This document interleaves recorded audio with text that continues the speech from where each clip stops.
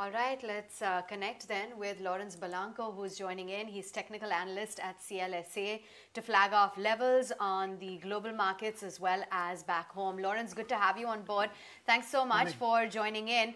Just let's get in a view as to what exactly it is you believe that the biggest risk is right now to the markets, because you have spoken about how the S&P 500s break below the June lows, and the uh, second is a non-confirmation. So, what is your outlook in terms of where uh, those markets are headed.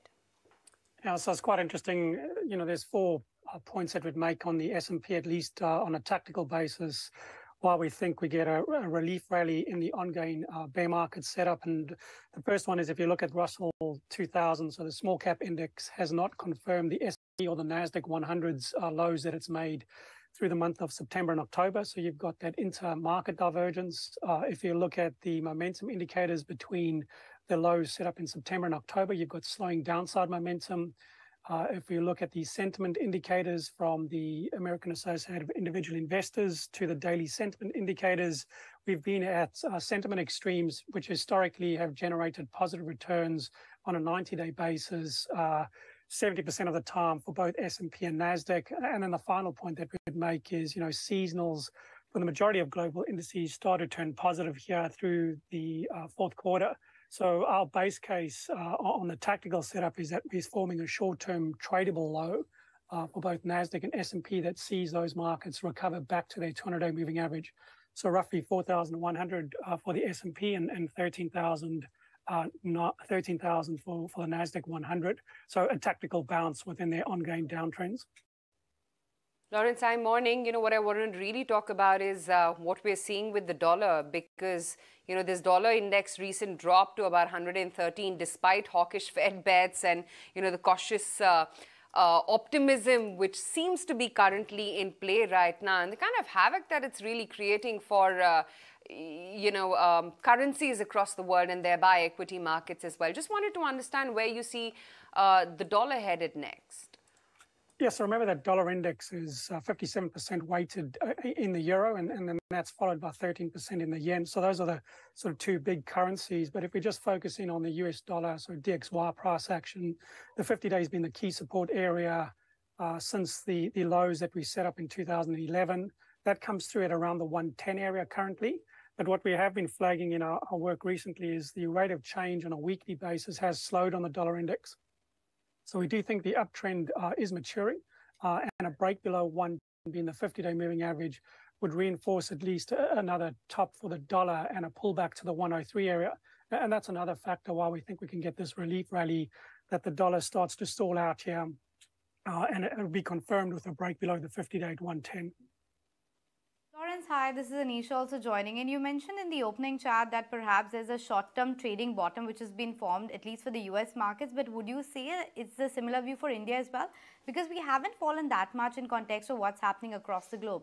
So how are you looking at the Indian markets at the moment? Yeah, I mean, the Indian market's been quite resilient. I mean, if you look at it uh, in local currency terms, uh, we're just off the all-time highs. And if you look at it in dollar terms, uh, using the MSCI India US dollar term indices versus the S&P, you know, India's outperformed year to date the, the S&P by roughly 15%. So we've actually got a totally different chart structure, a more resilient chart structure, and basically the Nifty's been in a trading range uh, between 15,200 and 8,200 year to date. And you know, with a relief rally uh, in the US market, we can see the Nifty retesting that 18,200 area and potentially breaking out of this range.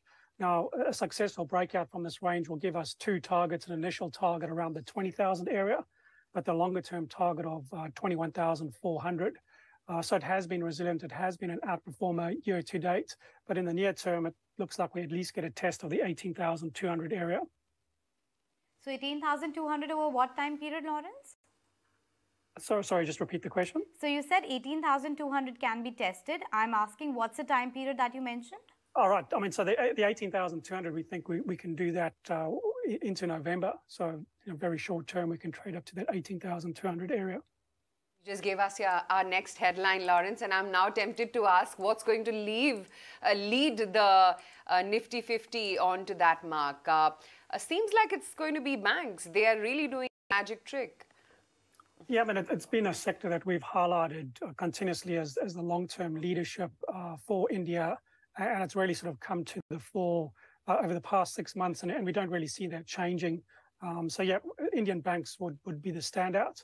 Uh, we started to see some improving price action in the pharmaceutical space, which has, has been an underperformer. So we've seen a bit of rotation, and what we would be highlighting is the Indian autos, which have had a great run up uh, in the first half of this year. We're starting to see some slowing upside momentum.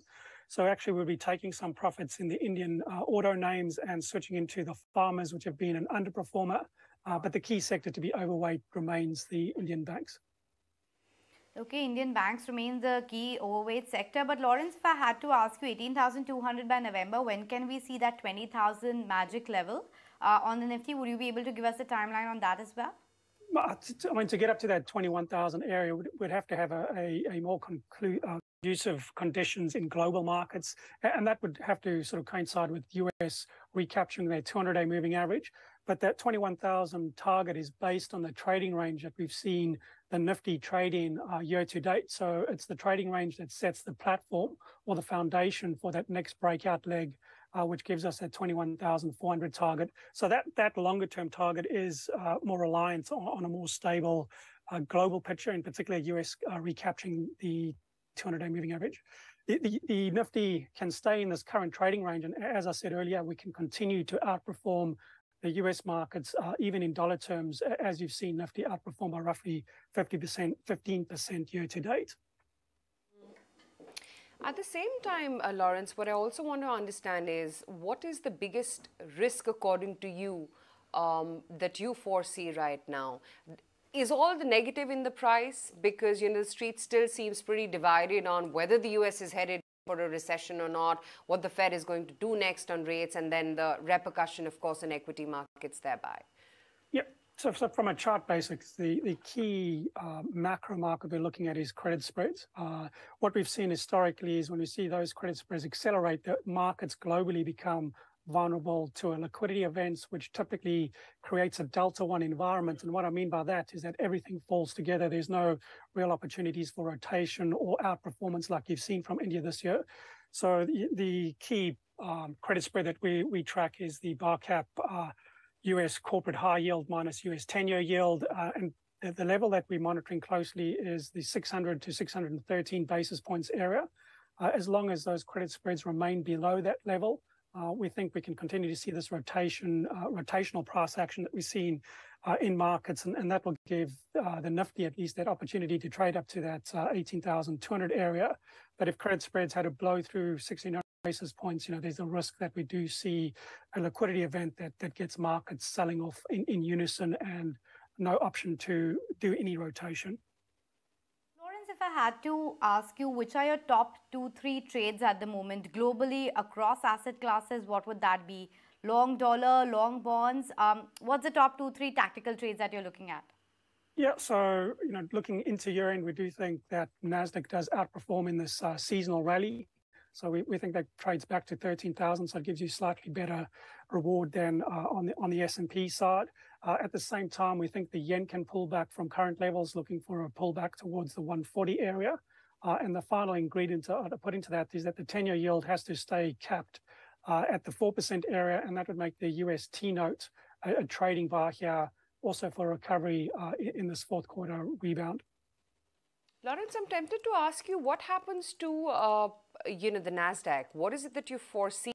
charts because you know it's come out of a painful period right now of course we're seeing you know an in sync move up and uh, so is the case sporadically with indian it as well but just purely because of the sentimental rub, rub off that any crash on nasdaq has on indian it and the kind of sentiment right now which is prevalent wanted to understand what you foresee for not just indian it but global it stocks as well yeah look i, I think the longer term conclusion that this is just a relief rally, a bear market rally, rather than the ultimate low for the Nasdaq. So it's a tactical trade back to 13,000. Uh, but that's where we see the biggest upside for that tactical level. Um, in the first half of uh, 2023, we do expect to see uh, a rebreak of the June and September lows that we, we're trying to base out at currently. Um, so again, this is a rebound within an ongoing downtrend is the conclusion that I'd see. And I think the Indian IT stocks, after forming pretty significant peaks in the first half of this year, again limited to a rebound back to those breakdown areas uh, before the downtrend uh, resumes. Okay, Laurence, so it's a bear market rally and not a sustainable up move. At least in the near term, we're not out of the woods. That's the word coming in for NASDAQ. But I was uh, reading your earlier comments on the commodity cycle as well, wherein you talk about how um, it might be a long-term commodity cycle, bull, uh, bull cycle that we might be into. Do you want to talk to us a bit more about that? Where do you see crude headed? Where is where are we in the commodity cycle at the moment? Yeah, I mean, I think if you really take a step back, and there's a chart that uh, we've created uh, looking at commodity prices going back over 100 years. It's a nominal uh, chart, uh, price chart that we look at, and, and basically what we can observe uh, on that price action is this 30-year uh, cycle in commodities, which generally breaks down into three parts of a 10-year bear market, 10-year repair process, and, and a 10-year bull market. And, and, the point is, you know, the, the price action we've seen over the past 12 months may look extreme on a short-term basis. It looks like it essentially is the kickoff phase of a, of a multi-year uptrend within the broader commodity uh, complex. As far as Brent goes, you know, we think we're in a higher range and consolidating in that range. And, and the bottom end of that range is the 85 to $88 area. And the upper boundary of that range is towards 123, 125. So, so those, uh, and that's the levels and range that we think Brent trades in uh, into 2023.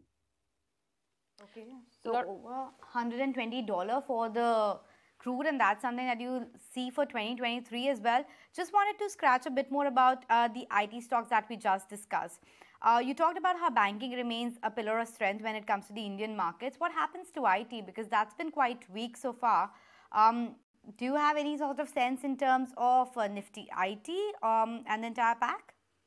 Yeah, so uh, again, the short term setup for Nifty IT is to trade back towards 31,200, 31,300, which is roughly where the 200 day sits in. And, and that would coincide with the NASDAQ uh, running back to 13,000 but that's likely where the rallies uh, is expected to stall and resume the downtrend. Because if you look at the longer term setup, you know, the, the impressive bull run that you had from 2020 topped out in a classic uh, head and shoulders topping formation through 2021. So we think the rebound again is part of this ongoing downtrend that the Nifty IT sector is creating, which gives you a short-term upside target of 31,200 to 31,300 but ultimately we roll over and we break below 26,200 uh, into 2023. Laurence, uh, I'm not sure how micro you're delving into India markets, but we are seeing emergence. A lot of newer sectors take place. Uh, defense, for instance, you know, if I bring up any chart here, they're all sitting at life highs for, for themselves. In the year gone by, underperformers like ITC have made a very solid back. Within autos as well, we are seeing newer names now stand at 52-week highs. Sporadically, you're seeing within pharmaceuticals as well, you know, while it's a very divergent sector, uh, but you are seeing some of the stocks sit at life highs. I wanted to understand, outside of the pockets of IT and banks, where is it that you're scouting for opportunities when it comes to India and looking at attractive charts? Well, like I said earlier, the, the most interesting uh, place that's developed in the short term has been the broader pharmaceutical space from, from the drug producers to the hospital names uh, where we've seen fresh breakouts. So if you're looking for sort of fresh ideas, we're, we're really sort of looking in the pharmaceutical space uh, right now, having underperformed for uh, the greater part of this year, we're starting to see some leadership de develop from there and breakouts of trading range that vary from three to 12 months. So, so that's a space that we'd look at uh, for, for new opportunities. Laurence, um, what about China? It's been beaten down quite a bit. The Hong, uh, Hang Seng Tech Index has seen quite a bit of correction this year as well. Is it uh, fair to completely write off that geography, or do you think it can be in for a very sharp rebound as well as things open up, as the headlines keep coming in from the Chinese Congress as well? Well, I mean, I think it's it's probably the biggest pain trade into year end because it is under owned uh, and no one really wants to get involved there. So, you know, we've been looking at the Hong Kong short selling turnover versus total turnover. uh, and the short selling turnover is sitting at roughly 18% this year versus 13% last year. And this is in an environment that total volume in the markets dropped by 26%. So, you know, any kind of positive news we think can trigger quite a violent uh, short squeeze that, that, can see the market rally uh, quite sharply uh, into year end. And uh, what could exacerbate that is all the underweight positions that we do have uh, in, in, emerging markets that, that land up uh, chasing that market higher. The other interesting observation would be that the Hang Seng Tech Index, while it's been weak since June, it hasn't made a new low below the March 22 lows versus the Nasdaq, which has made fresh lows for its downtrend of the, January high. So there, there has been a development of divergence between the Hang Seng Tech Index and the Nasdaq for, that matter. So there are some uh, warning signs that we shouldn't be really chasing uh, the Hong Kong market lower at this point, and, there is a great risk of a, sharp uh, short covering rally into year end. Thank you so much for taking time out and giving us those views, Laurence. So that's